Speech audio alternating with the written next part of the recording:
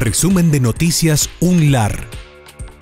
Se realizará seminario de pediatría en la UNLAR. Desde el 4 al 6 de octubre habrá mesas redondas, conferencias a cargo de destacados disertantes, paneles de exposición y talleres. Lo queremos hacer más énfasis desde el crecimiento, desde la gestación del niño hasta los 16 años. El Hospital de la UNLAR celebra su decimoprimer aniversario.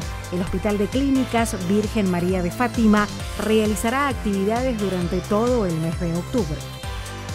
Piden redistribución de fondos en presupuesto 2019. El vicerrector de la UNLAR detalló ante el Consejo Superior la situación presupuestaria de todo el sistema universitario.